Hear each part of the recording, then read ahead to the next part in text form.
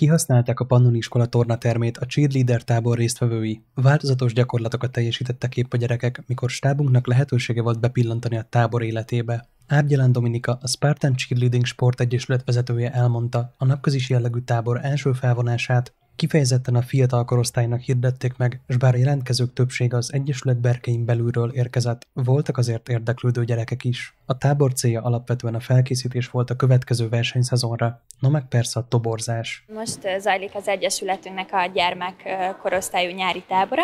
Ez azt jelenti, hogy átlagban 5 és 10 év közötti gyerekek vannak itt. Az elsődleges célja a tábornak, hogy egy kicsit előkészítsük már a jövő évi versenyszezont. A résztvevőknek a többsége egyébként a mi saját sportolunk, akik tanév közben is látogatják az edzéseinket.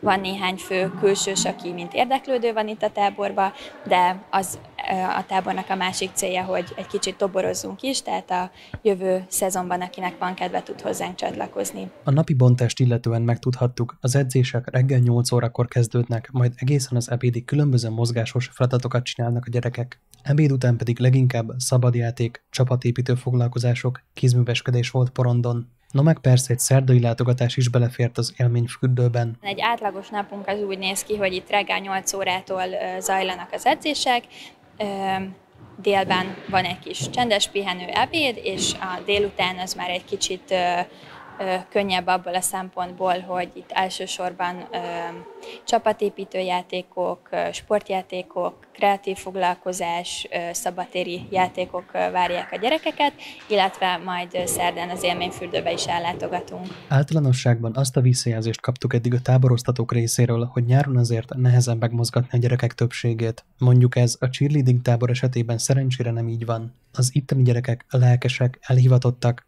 és talán a szülők sem bánják, hogy délutánra mindenki jó fáradtan megy majd haza. Szerencsére, akik itt vannak, ők eléggé elhivatottak, még a fiatalkoruk ellenére is, tehát nagyon szívesen kapcsolódnak be az edzésekbe. Nyilván délutánra azért jobban elfáradnak, főleg a kisebbek, vannak itt olyanok, akik egészen fiatalok, és mondjuk életük első táborát töltik itt velünk, tehát a délelőtt ez inkább mozgalmasabb, ott az edzésre fókuszálunk, de délután már egy kicsit a pihenési a játéki a főszerep. Az elmúlt hetekben településünk nagyon sok táborába ellátogattunk már, de öröm azt látni, hogy vannak olyan gyerekek, akik az aktív mozgást választják a szünidőben.